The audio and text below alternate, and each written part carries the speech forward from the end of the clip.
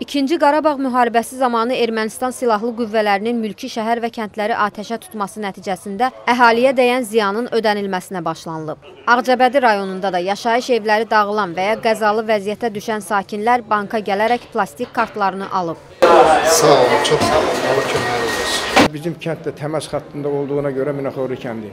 Orada bir neçə mərmi düşdü, bir neçə ailənin evində problemlər yarandı. Dəymiş ziyanına görə bizə deməli müəyyən köməkliklər olundu. Bu gün həmin köməklə bağlı gəlmişik. Heç bir problemimiz yoxdur. Hər şey qaydasında. Cəmaət hamısı burada həmin o dəymiş ziyanla bağlı hamısı da burada vəsaitlərini götürdülər. Bu gündən belə də elə bilirəm daha da yaxşı olacaq. Rayon Qaraxanlı kənd sakini müharibə dövründə evimizə ciddi zərər dəymişdi, evimiz dağılmışdı. Ona görə də bu günləri dövlət həmən ziyanlıqları hesablayıb mənə ödəyir və gəlmişəm həmən puldan alam dəyərlənəm evin düzəlməsinin özünü. Bu münasibətlə mən cənab prezidentimizə minnətdarım bildirirəm. Bura zəhmət olmasa imzalayın. Əhali üçün maddi yardımlar hər rayon üzrə işçi qruplar tərəfindən hesablanaraq dövlət komissiyasına təqdim edilən siyahılar əsasında ev sahiblərinin və ya onların qanuni nümayəndələrinin bank və ya kart hesablarına ödənilib.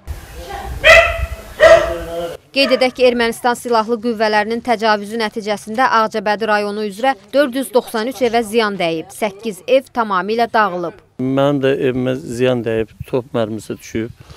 Top mərmisi düşəndən sonra dövlət tərəfindən gəldilər, bizi siyahıya aldılar. Yəni dəymiş ziyanları qeyd elədilər, getdilər. Gedəndən sonra bizə, yəni dünən getdik bank tərəfindən bizə kart verildi. Həmən kartları aldıq. Yəni bu gün də pulumuzu çıxardıb evimiz üçün, yəni nə lazımsa onları edəcəyik. Hə, çox sağ olsun. Allah dövlətimizin bayrağını uca eləsin. Allah köməklər olsun. Erməni tərəfindən bizim də evlər darbadağın dağıldı, yandırıldı, uçuruldu. Dövlətimiz, hökumətimiz sağ olsun, prezidentimiz çox sağ olsun. Bayqdan kartımızı götürmüşük, evlərimizi də düzəldəcəklər, tikəcəklər, çox sağ olsunlar. Minnətdarıq. Bizi ehtiyat içində qoymadı. Qeyd edək ki, mülki əhaliyə dəymiş ziyanın aradan qaldırılması Azərbaycan Respublikası Prezidentinin 6 noyabr və 14 dekabr 2020-ci il tarixli sərəncamları əsasında həyata keçirilir.